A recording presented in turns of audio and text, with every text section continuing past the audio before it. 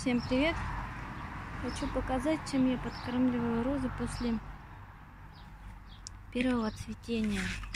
То есть это после минеральной подкормки идет.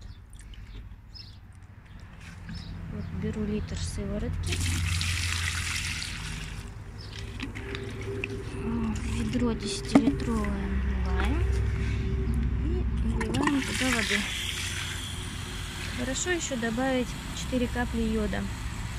Так как у меня сейчас нету под рукой у йода, поэтому я подкармливаю только вода и сыворотка. Под каждый куст розы наливаю по 3 литра этого раствора. Все. Этим я сейчас подкармливаю. Через неделю буду подкармливать минеральными удобрениями опять. Фертика, весна, лето.